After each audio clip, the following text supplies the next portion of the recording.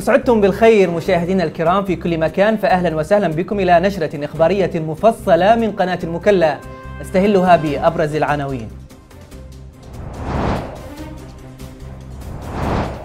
رئيس الحكومة يصل دولة الإمارات في زيارة رسمية.